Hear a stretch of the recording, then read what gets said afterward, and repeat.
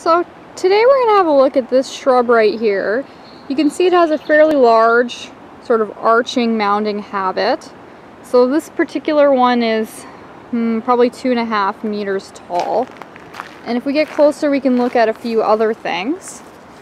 So the bark itself is kind of this reddish color with a little bit of um, cracking in it. And the leaves are opposite each other on the stem and if you feel them they have sort of a tiny bit of um, kind of a sandpapery sort of feel, a little bit of hairs on them. And you'll notice they have these fairly smooth margins but they have these little tiny points along the ends. And not every single leaf has them and on some of them they're more obvious than others. Like this one has these little, the points are a little bit more distinct and uh, that's fairly common of these. You'll also notice that there's sort of these three main leaf veins that are quite distinctive. And we're in luck because we just caught it as it's finishing flowering. So you can see here, this is the flower for which this plant gets its name. So it's called a mock orange.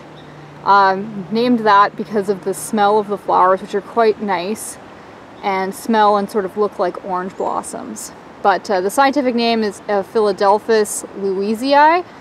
And uh, if you get a chance to smell them, they smell so nice. They have um, four petals kind of shaped into the four directions here and aren't too large.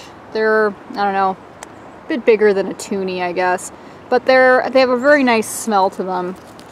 And you can see that they later form into these sort of capsules after they've been pollinated.